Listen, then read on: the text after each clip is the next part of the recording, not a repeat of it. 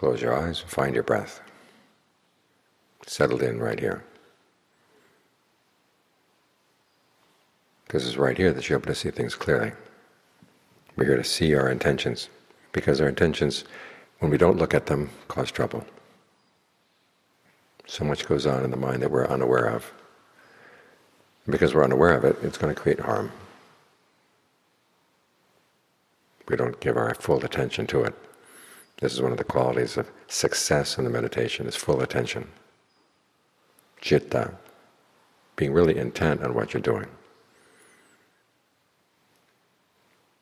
It depends on where your intent, where your success in life is going to come.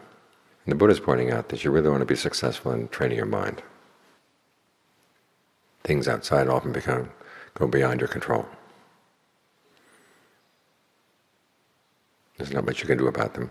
But things inside you really have to work on, because there is that's the area where you can make a difference. This is not to say that we can't make a difference sometimes out in the world, but you never know how the impact of your actions is going to ripple out and then come rippling back.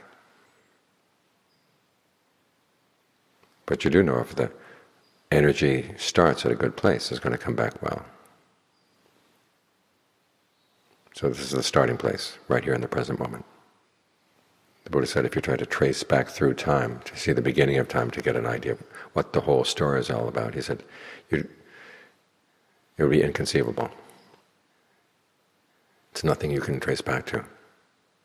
What you can do, though, is watch how things get put together right here, right now. How are you thinking right now? What are, what are you focusing on right now? What are the results right now? If you see something, you're doing something unskillful in the mind, what can you do to stop it? As for skillful things, what can you do to maintain them? That's where the real issues are. Because you can rest confident that if good energy goes out, it's going to ref reflect back well. Now sometimes some reflectors outside are pretty bad.